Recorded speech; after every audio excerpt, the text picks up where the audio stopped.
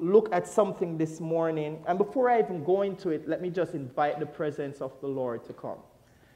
Let us pray. Eternal God and most righteous Father, we thank you, we praise you for just a wonderful day to be free in your house, dear God. So many places in the world they cannot open the word of God, but we are free in this country to do so. And for that we give you thanks. I pray now, dear God, that you might hide me behind the cross Fill me now and use me to do that which you would have me to do. In Jesus' precious name, amen. Today I want to talk about how to use prayer. Now, when I look at something like this, I need every Christian to understand that prayer is essential to a Christian's life as oxygen is, a, is essential to breathing. Yeah, Prayer is essential to our Christian life as oxygen is to breathe in. If we as human beings don't breathe oxygen, what will happen to us? Okay, did nobody do chemistry? Was that chemistry or bio? Nobody went to science class? I flunked out in science, but I learned that. If we as humans don't breathe oxygen, we what? Thank you. so listen to this. If we as Christians don't have a prayer life with our Lord and Savior, then we die spiritually. What? Yes, we do. Many persons sitting here this morning are dead spiritually. Oh, my pastor is rough this morning. You are existing by name only. So people will see you and say, oh, they go to Tulpehocken Church. They're a Christian but spiritually you are dead. You know why? Let me tell you why. There is nothing behind your spirituality. If there is no prayer, there is no power. That's how it works. I need people to understand that. If you're going to be a Christian, you have to talk to your Lord and Savior. I don't know anybody that is in a relationship with somebody that you never talk to them. That isn't a relationship. And I keep on saying it to persons. People came to me and said, Mario, how did you and your wife exist for seven years apart? Well, she's here. You can ask her. We talked. if we did not talk, then we would have trouble. Yeah, can you imagine seven years? You know, I left, came and did my studies, and then after a certain amount, I came back and said, Hey, do you remember me? I'm your husband. that wouldn't work out. So, you must have a prayer life with your Lord and Savior. So, as I said, this morning's topic is how to use prayer. Now, I just want to look at a few ways of how we can use prayer. These are not the only ways, but I just picked out a few of them to help us to mature as Christians. Now, the first one I want to look at is use prayer as a weapon. Oh, Pastor, getting real bad this morning. He's telling us to get weapons out. Yes, use prayer as a weapon. Now, let me tell you something. A weapon can be used to attack and a weapon can be used to what? Defend yourself. That's what a weapon is used for. Use prayer for both. Use it to attack and use it to defend. But my major concern is many persons are not using prayer for the right reasons or against the right person. So they are not using prayer to defend against the devil or to attack him. They just have it there sitting around. Now let's draw a little story here. Think about it. A policeman or a police officer, let me not say man, a police officer carries a weapon, a firearm, right? But they use that firearm to defend or to attack. Now, if they see an innocent bystander being attacked by a perpetrator, they can use the weapon to attack the perpetrator, or they can use the weapon to defend themselves. When they use that weapon, they're either attacking or defending. That's how it goes. So when you think about it, a weapon is a good tool if it is used properly. Well, let me tell you something. Prayer is a good tool spiritually if you use it properly. We just need to use it on the right person. Who is the perpetrator? The devil. Listen, I don't want anybody praying any bad prayer for someone who have wronged you. you know, dear God, I don't like Kathy. Kathy said something bad about me. Strike her with a lightning bolt. no. God is not going to honor a prayer that is evil, right? You need to turn the prayers on the persons who need it. So use the prayer as a weapon to defend you. Listen, some of you are like that boxing match. You ever seen that guy in up, up against the ropes? And he's up against another guy's like, yeah, yeah, and he's like, just taking body shots. Stop taking body shots from the devil when you have a defense. Use prayer as your defense. And guess what? I've seen it many times that the guy has the other one on the ropes taking body shots, but he got his guard up. So he's not taking the shots as he should. And this guy's working. And he gets what? Tired. And then this guy gets one attack mode. Wham! Hits the canvas. Use prayer against the devil as a weapon to defend yourself and to attack him don't just stay on the ropes and take body shots from the devil. I want to give you a scripture that helps you. Now, many times we've read in the Bible, and everybody knows this scripture passage. They know about putting on the armor of God. Everybody tell you to put on the breastplate of righteousness, helmet, sword of the Spirit. You know all that. And everybody say, Yes, we know that, Pastor. I've heard that preach a zillion times. I know it. But let me point out how that portion of scripture ends. Because many persons miss this. With all the different stuff that we're to put on to defend ourselves, listen what it ends with. With all prayer and petition, pray with specific requests at all times, on every occasion, and in every season in the Spirit, and this is in view. Stay alert with all perseverance and petition, interceding in prayer for God's people. So, all those things that you're putting on in Ephesians to stand against the devil, you're putting on your helmet, you're putting on your breastplate of righteousness, you're putting on having your feet shod with the gospel of peace, the sword, everything that you have ready with you must be bound and tied up in prayer. That's what the Bible says. So make sure you understand how to use your weapon, who to use your weapon against, and use it. Second thing I want to look at this morning is use prayer as a guide. Listen, let me give you a little nugget. If you need to write it down, write it down. When you're in doubt, pray it out. Simple. When you're in doubt, pray it out. I use that all the time. See, I'm not that brilliant, but I call on the one who is, and then it makes me look brilliant. I tell you, that's the secret. Don't know what to do in a situation? Pray. Want to know what God's will is for our life? Pray. Having problems in relationships? Pray. All right, you're getting it. Whatever life throws at us that causes confusion, that needs decision making or problem solving, we. There you go. Use prayer as your guide. When I don't know what to do, I pray. When I'm confused and I don't know what to do, I pray. And I'm confused a lot. yeah, people say, You're so wise. Yeah, because I tap into God's wisdom. If it was Mario to do it all by himself, oh, you realize he's not so smart, I know. so tap into God's wisdom. Let God be your guide. Turn to the guide that knows all the answers.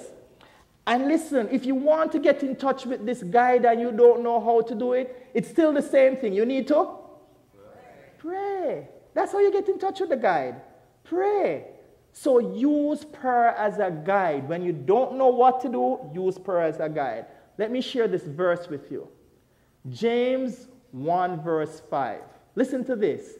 If any of you lacks wisdom to guide him through a decision or circumstance, he is to ask our benevolent God who gives to everyone what? Generously. No, that he, he keeps back some for himself. That's not what the scripture says. Who gives to only tall persons. No, it says to everyone generously and without rebuke or blame, and it will be given him. Ask God. I didn't make this up. I read the scripture for myself. So when you all of you keep on saying, you are wise beyond your years, I look at you and say, I know, thank you, Jesus.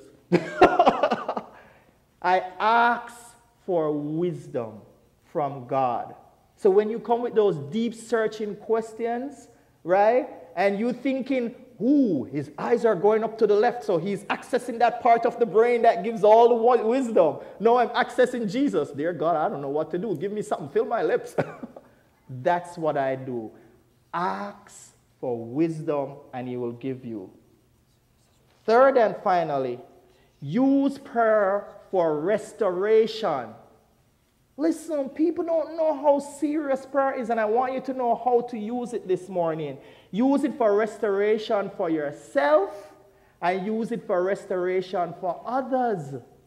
Yeah, it's not only for you. Some people don't realize they think prayer is only for them. No. Well, let me start with others first. Now, when you are going through a difficult time, and you start going through a difficult time, you ask the church to do something for you. What do you ask the church to do?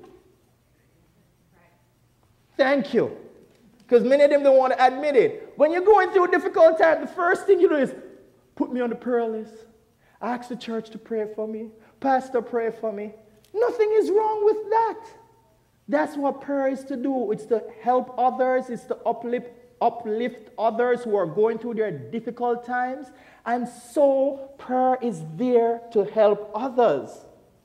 But my question is this then why is it when you are going through your difficult time, right? You want people to pray for you. But when they're going through their difficult time, you are not praying for them. Ooh, I hit that one hard. Because guess what? Many persons are like that. Listen, if you see me going through a difficult time, don't come lie to my face. What lie are you talking about, Pastor? Okay, let me give you some of the regular ones that people use. When they come and see people in difficulty, I'm praying for you. You're in my prayers. Don't lie to me. if you know you're not going home to pray for me, then shut up and keep quiet. I'm telling you the truth. Don't come and tell me I'm praying for you. You're in my prayers. You, you, we love say that as Christians. We, we use it so many times. Prayers, prayers. You're in my prayers. And then when you go home, you're not even praying for yourself. So how are you going to pray for others? Think about it. And so, as Christians, we lie Sunday after Sunday after Sunday. and when we see people at Dutch where we lie some more, I'm praying for you. I'm praying for you. And not one thing came out of your mouth for the person. Stop it. Don't do it. At times when Christians need actions, they need action of you praying for them. Don't give them just words. That's it. I'm keeping it simple right there. So make sure if person is in their darkest hours and need prayer, pray for them.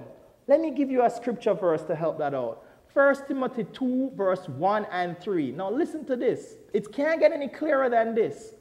First of all, then, I urge that petitions, which are specific requests, prayers, intercessions, prayers for others, and thanksgivings be offered on behalf of who? All people, not just Mario. For all people Listen what verse 3 says This kind of praying is what? Good and acceptable and pleasing in the sight of God our Savior. Many persons say, How do we please God? Well, one of the ways is start praying for people. The Bible says it that God loves this type of things. Remember, I always tell you the best way for joy Jesus first, others second, and you last. So pray for others. Do you know when I get up in the morning and start my prayer time, I pray for everybody else, and then at the end, I pray for myself? What? You ain't going through nothing, Pastor. That's why you can't save yourself for last. Oh, no.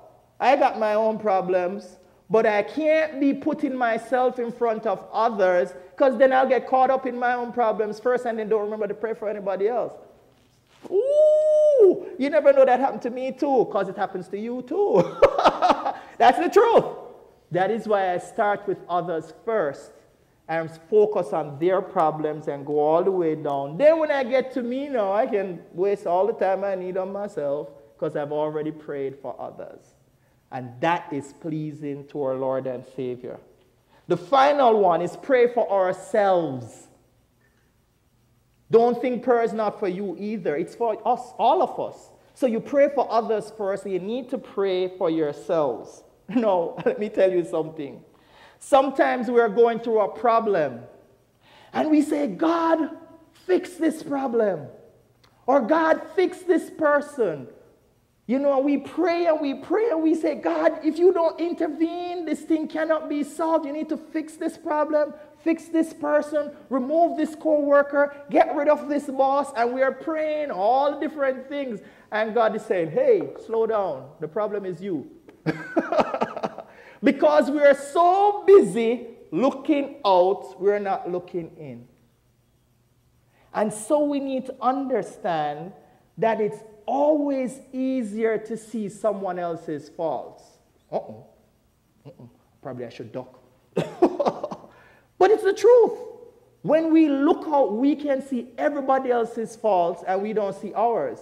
Because we're the perfect one. You know, we're the ones that are praying. We're the Christian. We're the mature child of God.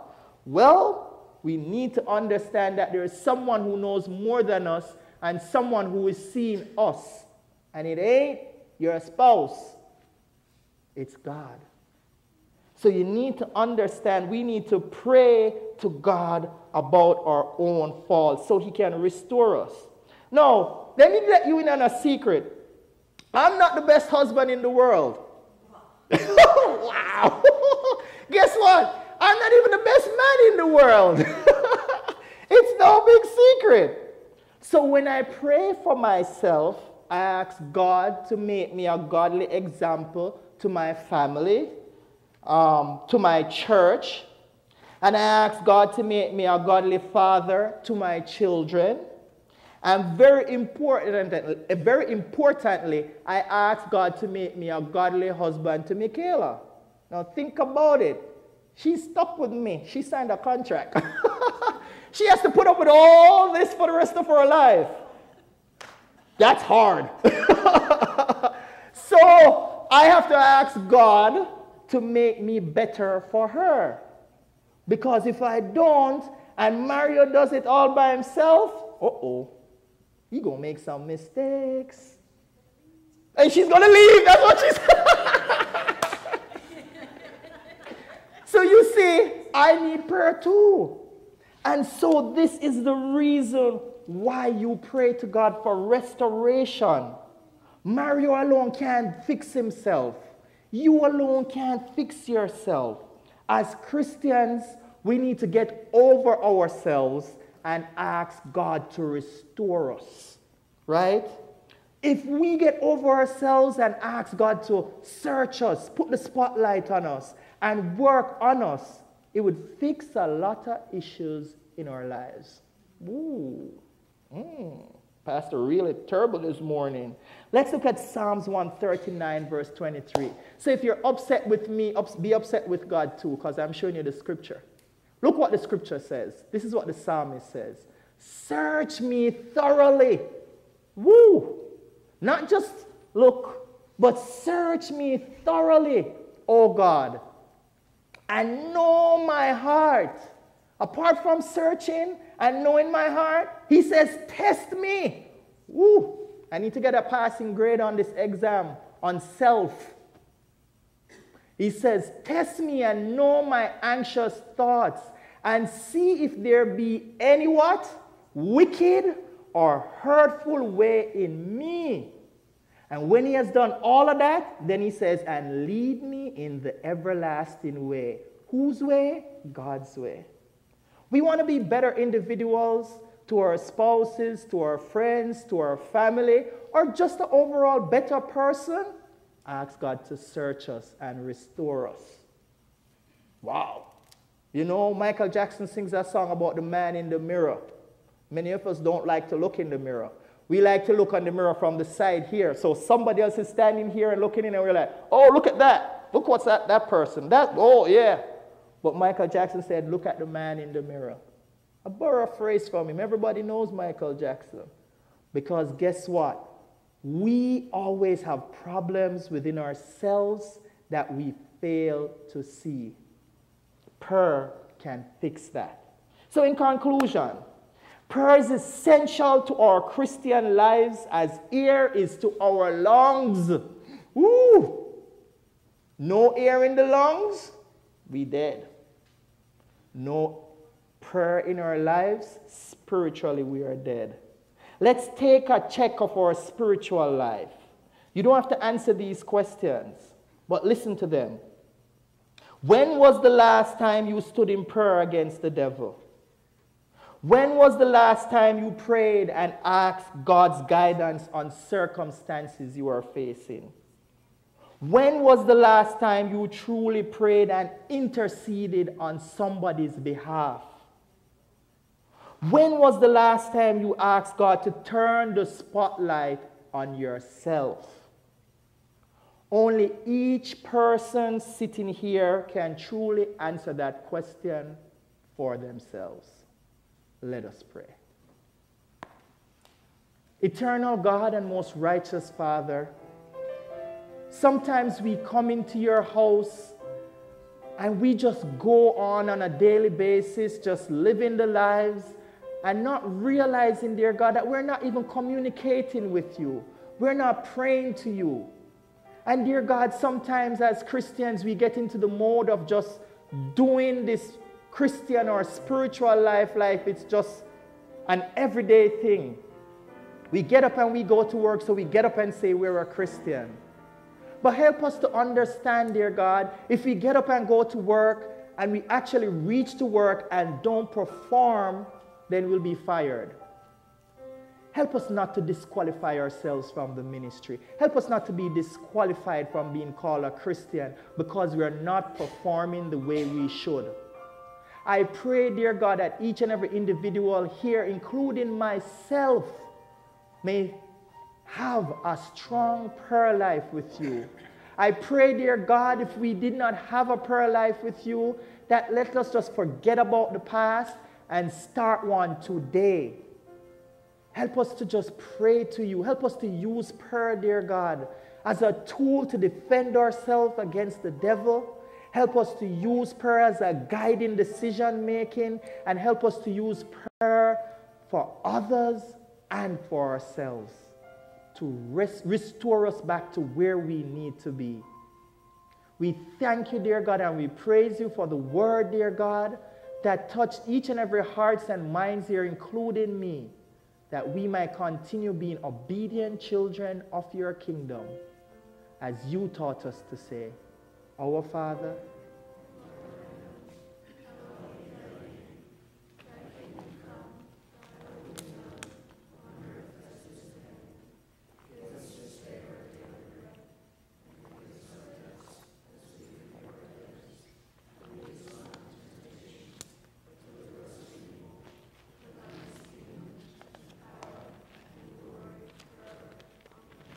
Amen. So I trust and hope everybody will have learned something this morning how to use prayer.